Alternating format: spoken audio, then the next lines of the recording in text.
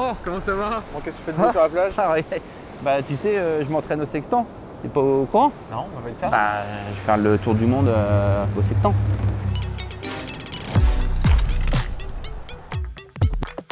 On va faire des photos avec les deux prochains PRB. Ah ouais. Faudra que tu choques en grand. quoi. PRB avait le souhait de participer à la prochaine édition, mais ils n'avaient pas de, pas de skipper.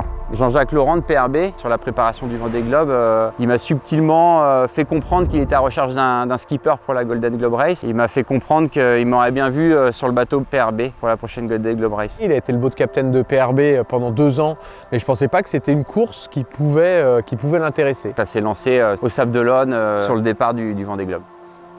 Quand tu y réfléchis bien, si tu aimes bien être sur l'eau, si tu aimes bien si t'es un marin, et je pense que c'est le cas de, c'est le cas de Damien, bah écoute, ça a tout son sens. Cette course euh, rentre dans les mêmes règles que la première édition en 1968. C'est donc euh, la navigation au sextant, sans GPS, pas de moyens de communication. Euh, c'est quelqu'un qui aime bien le technique, qui aime bien passer du temps sur l'eau, et c'est vrai qu'au début, quand il m'a lancé ça, je me suis dit waouh.